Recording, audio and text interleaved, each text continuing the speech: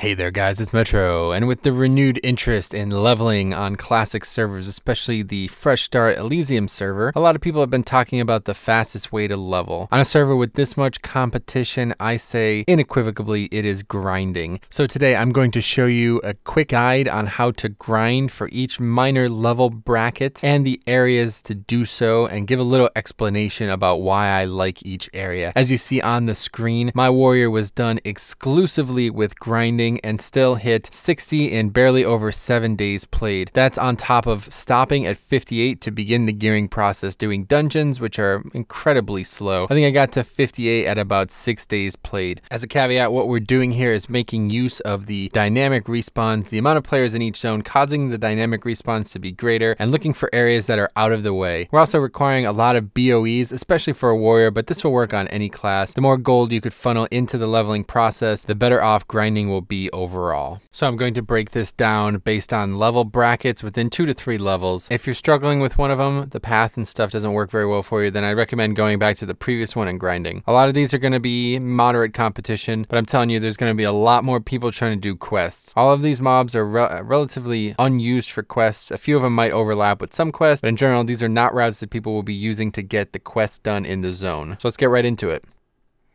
So most of this is going to be done on the actual video, but I do want to try to talk about some of the routes in the areas. I really like the Mulgore area right outside of Thunder Bluff, especially for the first 5 to 10 levels and going all the way till 12 actually in this zone. It's really nice. A lot of people start here, but they don't grind. A lot of people start in the orc area instead or the undead area. I think there's a lot more undead. You know, you got priests, rogues, etc. People trying to PvP, and otherwise you got warriors and hunters and other stuff like that starting as troll or orc. So definitely Tauren is the least represented starting zone and it's got some amazing grinding. So even if you're not starting Tauren, I would definitely recommend running here. Uh, the first five, one to five levels, just so everybody's aware, are not going to be covered here. Uh, they're going to be way too crowded to find any grinding spots at all that are going to work for you guys. So, however you want to get to level five, that's up to you. But regardless, you should be able to just do a quest or two and kill some mobs along the way, and you get the first five levels in less than less than 15 minutes usually. So same deal here. As you saw on the map there, we're kind of just moving up the left side of the zone. Uh, that's basically the best way to look at it. Chop it up into three sections, and that's how you're going to get 5 to 10. And it's going to just be back and forth on the mobs I'm highlighting here, okay? I'm clicking every mob that's available in this path. Sometimes they might not be here. Obviously, if there's intense competition, you're going to have to try to take smaller routes. But the good thing about the way the server is set up is, say I click on 35 mobs in the 7 to 8 level, section, if all 35 mobs are dead, then the other, the first mob that was killed is going to respawn much quicker. Do you understand? So that's the way the dynamic respawn thing happens. You're going to see a lot of dead mobs over the course of this 17 minute video. A lot of mobs are alive as well. If I come back five minutes later, the ones that are dead are going to be back. The ones that are alive might be dead as well, you know? So that's just how it works. If you're going to grind, uh, you have to be aware of that. Sometimes you have to sit there every once in a while waiting. But if this is an ideal situation, you only have to go through five to 10 mobs before the first few respawn. So now we moved up even further. Once again, we're just following the left side of the Mulgore zone. Very straightforward. If for some reason this, this doesn't work for you guys, you could do the right side of the zone as well. It's pretty similar, but the right side has a lot more quest activity and mobs that would run and stuff like that. So I would definitely recommend a lot of beasts. You're going to be grinding a lot of beasts. A lot of people try to grind on humanoids, but I would very much recommend against this because humanoids will run. So especially if you're a melee, it can be particularly dangerous and pain in the ass, really. But as any type of class, doesn't matter. A lot of the mobs that you're going to be targeting are yellow throughout this course, uh, the 17 minute video. So uh, hopefully it'll be easy for you guys no matter who you are. But either way, if you follow this path, this is exactly what I did on my warrior uh, mob, mob for mob. Every time I level a horde character on any of these private servers, which I've done, I think four or five times now to 60, this is the exact route I take every time. Obviously, not every realm is as populated as especially the fresh start realm will be, but I'm telling you, there's no there's no real reason for people to be out where we are currently, and especially going up all the way to the right side here. So now we're on Thunder Bluff, uh, right to the right of it. We're right across from it, and you're just gonna follow these mobs, and you're gonna kind of go around like an arc around Thunder Bluff. You see, there's a couple people doing some probably a quest to kill wolves or something. I'm not sure why two people are grinding together, but it brings up a good point. Uh, if you have a friend friend you want to level with, do not do this, okay? If two people grind together, you are going to go very, very slowly. This is solely for a solo player, somebody who's trying to level by themselves as expediently as possible. It may not be the fastest way to level in complete vacuum, but this is very consistent mobs that I'm telling you, you know, they're a level or two below you, and at best they're the same level as you. I'll try to never include a mob that you shouldn't that you know is is more than a level higher than you.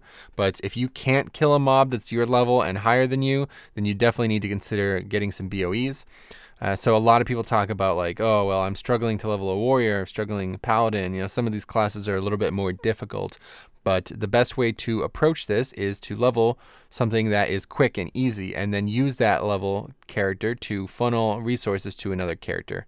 So anyway, that's 1 through 12. We're going to do that in Mulgore. Now we're in the Barrens. Now this first spot I'm going to show you guys is not going to be the best spot, especially on the Elysium PvP server, but I did want to show it. If there's a way you can get all of these mobs, they are incredibly high density and incredibly high value. They drop some nice grays as well. It's like a, a pelt or something like that. And then there's some mobs that kind of arc around the left side. And this is just right outside of the crossroads. So yeah, on the PvP, the new uh, Elysium server, there is going to be a lot of people here. And then there's these uh, humanoids here that you can consider if you're really not wanting to leave the area. But as you see, I immediately start running into more players. So instead of that, I would suggest over here instead. So you see the map.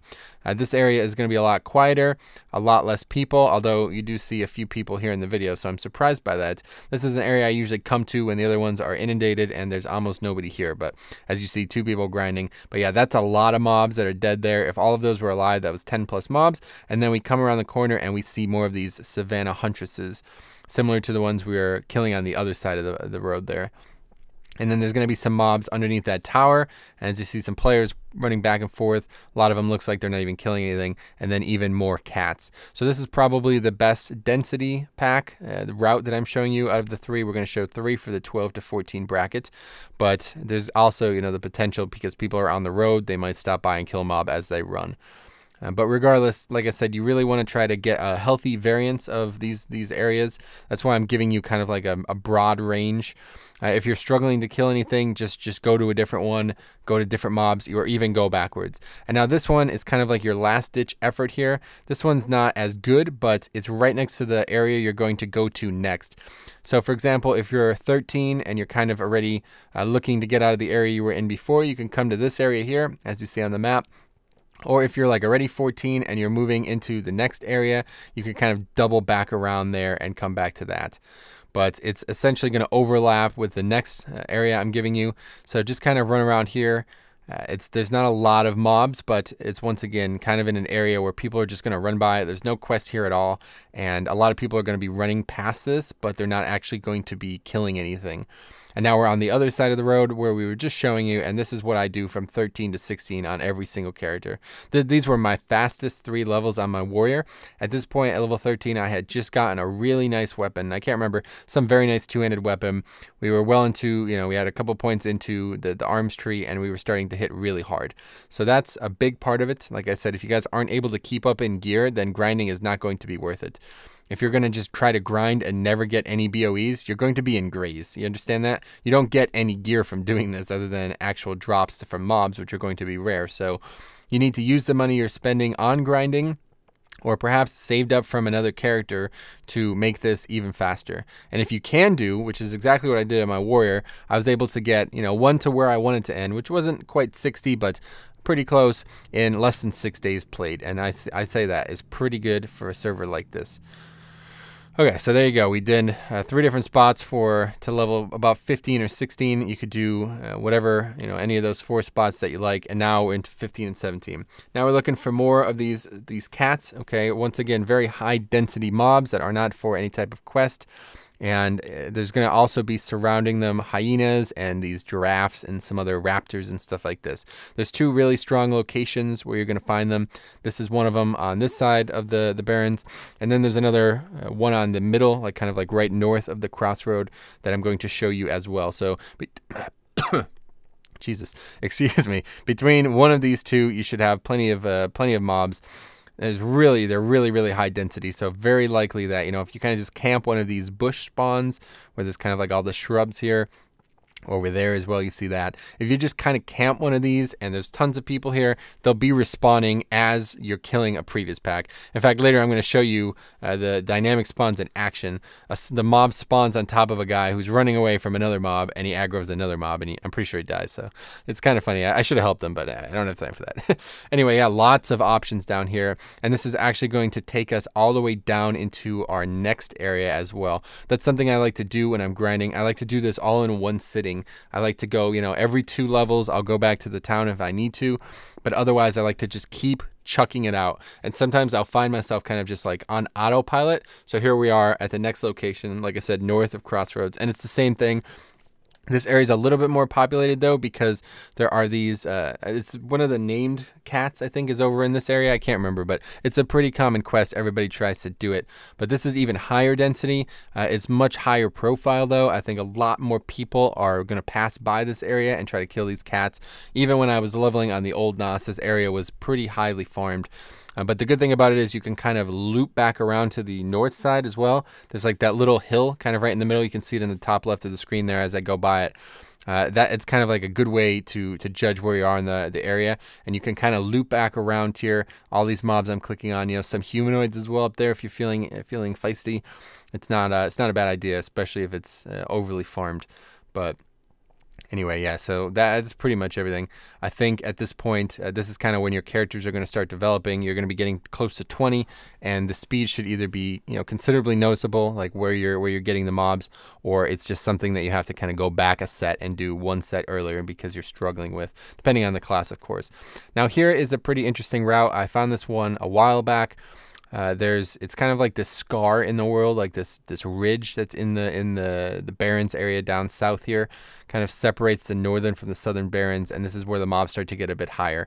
Now I'm clicking on a lot of mobs, but as we get uh, to the other side of the bridge, we're going to start finding mobs that are a bit too high, like they're they're not in the range of the other mobs. So if you're struggling once you get to the bridge, you could loop back around by the Quillboar. There's a few more yellows like uh, zebras and raptors and all that stuff down there.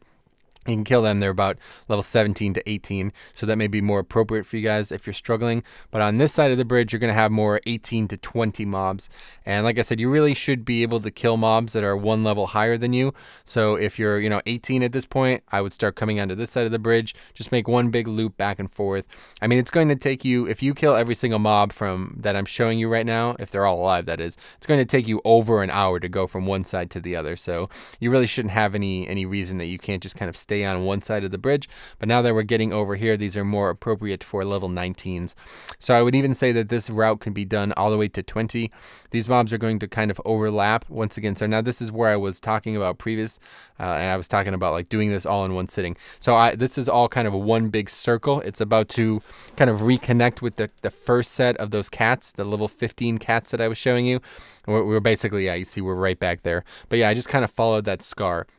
Now from 18 to 20, this is where I would usually I would do the only quest I would actually do in the Barrens is on these Quillboar, but there's no way you're going to be able to do this from 18 to 20. So there's no way on the new server, guys. You're not going to be able. That quest is going to be way too populated.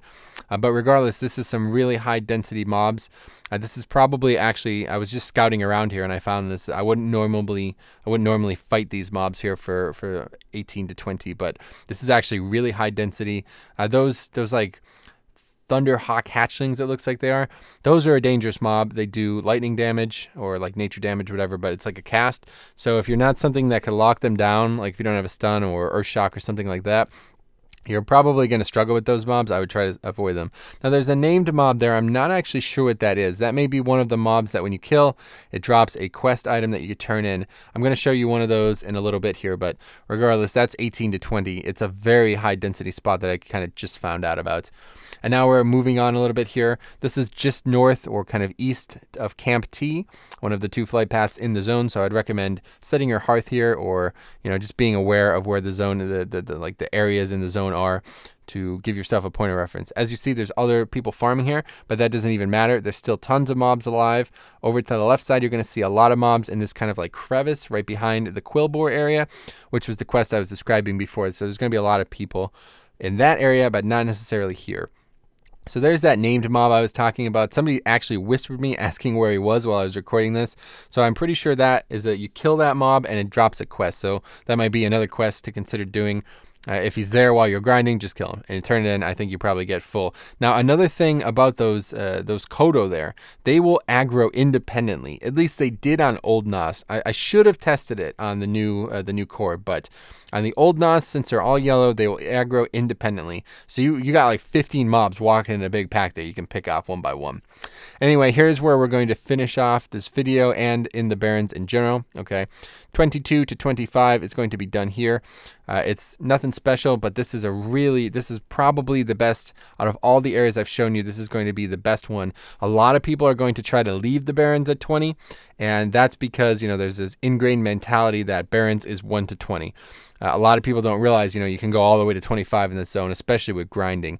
And there's even some quests that are a little bit more appropriate at like the high 20s. But regardless, this is what I do every single character. Even on Alliance, I'll come here because there's usually so few characters that it doesn't even matter if I'm Alliance or not. You know what I mean? It's probably not recommended. This is, of course, only for Horde, this one. I'm going to do a separate video for Alliance.